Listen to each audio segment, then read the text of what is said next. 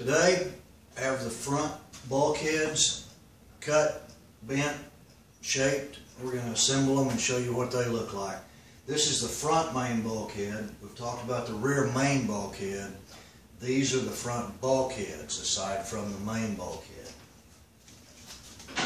First piece of the bulkhead, and it's already folded here. That's one piece that's been folded. So here's something like this. Pretty proud of my geometry here. I uh, that worked on paper. I was kind of surprised it worked in the real world to get that dog bone in there like that. Got the frame rail, uh, main frame rail pieces already in on the side. I'm gonna put a little bracket here. Use my jig table the way it was intended. That hole right there that I have on either end that's perpendicular to the top.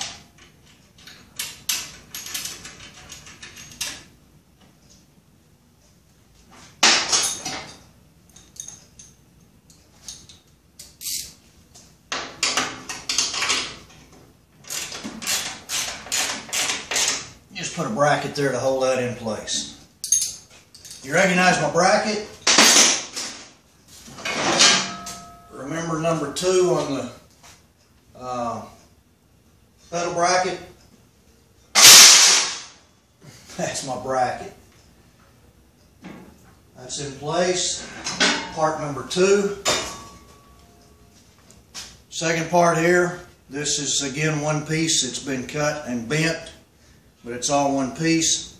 Rack and pinion goes on these brackets right here, and notice the right, the left and right rack and pinion mount are not symmetric to each other. Notice this is in a little farther than this side, it's up a little farther.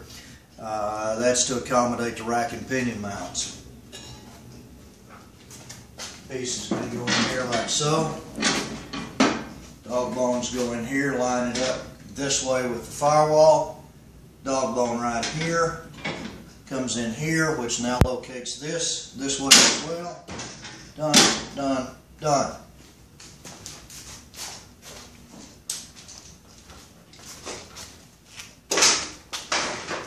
These pieces right here that actually hold a rack and pinion back into a dog bone there.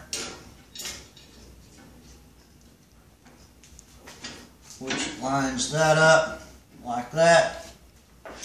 Dog bone in here lines that up like that. And in. Okay.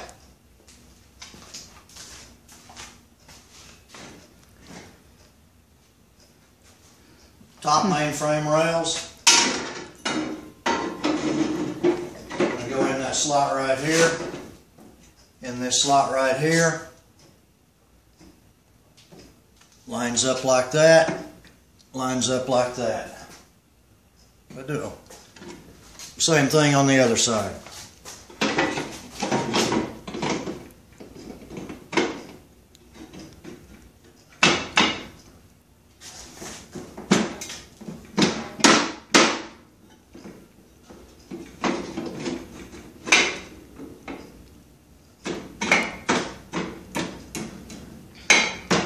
That. Those edges line up nicely. That's in and done.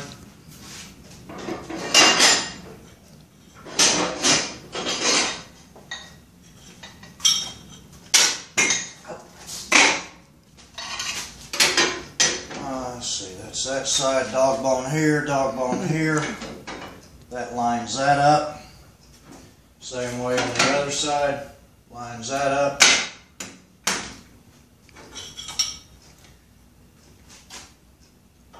Three quarter by inch and a half. Secondary frame rails. Like so.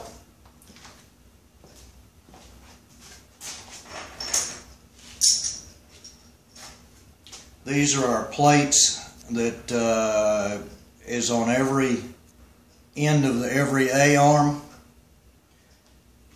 they're gonna go, see the slot here and the thickness here, and one rivet goes through all of them and catches it. Those are gonna go like so. And like so right here. That's for the upper A-arm front mount. Same thing happens back here, right here, for the lower mount. The lower A-arm, same thing happens here. And same thing happens here.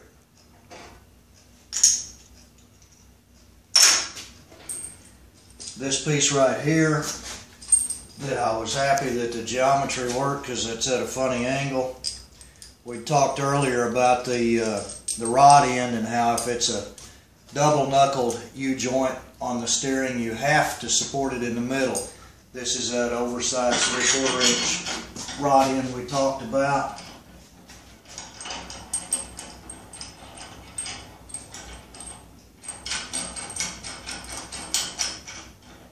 Goes in like so. This is the double D steering shaft. It's a 36 inch piece. We'll cut it to fit, but just to give you an idea, this big hole right here, can you come down and, and look at this? This big hole right here, the double D goes through it. Hold on just a second. Let me get something else.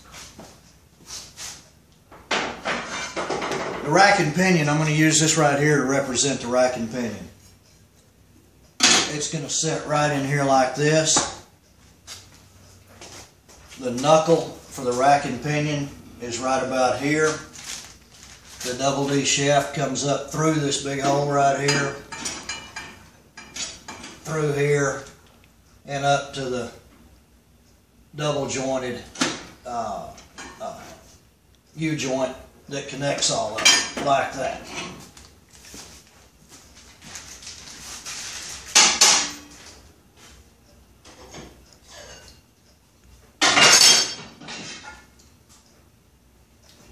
The upper uh, frame rails stop at this point right here, but there's an extension off of them. Now this particular extension is for a Countach.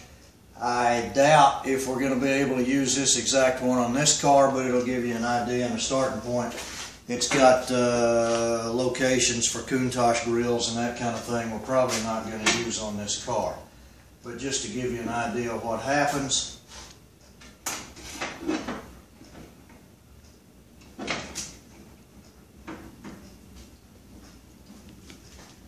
goes on there like that, bolts into the frame rail here and here, comes out same way on either side.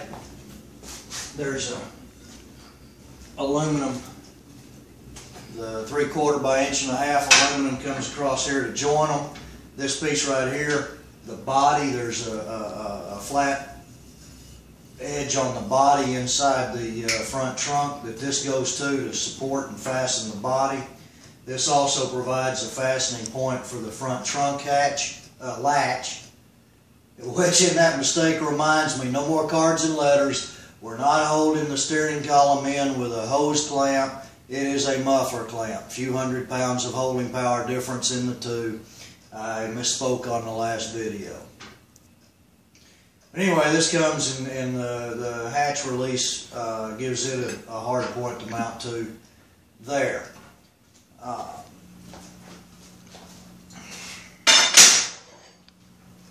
bracket like this goes in that notch right there like so. That's the air conditioner condenser. Similar bracket goes in this notch, which is the radiator bracket. This bracket is all one piece. It is actually the, uh, the radiator bracket. It holds the fan in place and it is the fan shroud as well for the radiator. But uh, that's a general idea. Once we get the body, we'll probably fine tune that just a little bit. I think that odd shape, I think that's a uh, condenser line hose that goes through there. I don't remember why that thing's shaped that funny now.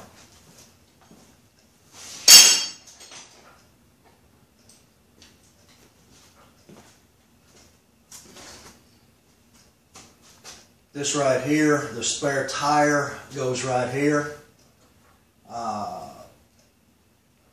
a hole right here for a rivnut. That's what holds the spare tire in place. There's two holes here, two rivnuts. The spare tire is the size of the front tire and wheel. It is a full size spare tire and wheel, and it is the wheel that is actually on the car, but it is the front one. The rear one's a little bit larger. If you have a flat, you can run the little bit smaller one on one side for a while, no problem. But anyway, that's the reason there's two holes here. This is if you do have a uh, a flat and have to put the big rear tire back in here, you need to move three quarters of an inch forward to that hole right there.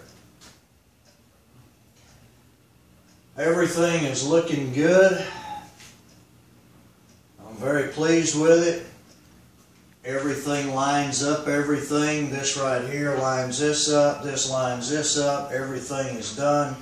Uh, this right here, I've designed it so that that is absolutely flush with the front of the, the chassis jig, which it is.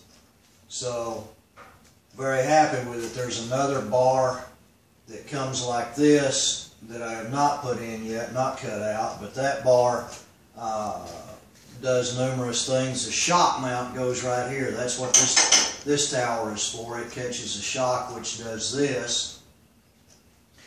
This supports the shock. Additionally comes up, supports all the dash, plus comes out and supports the bars that go out to support that big door hinge. Uh, A-arm points here and here, A-arm points here and here. It's going to be a rack and pinion arm come out just about like that. Done all the geometry on this thing and all of those points are exactly where I want them. This is starting to look pretty cool. I, I really like it. See if I've got any other goodies back here that I wanted to show you today. I guess not. I got one M&M here. It's got aluminum dust all over it. I don't think so. That's it this time.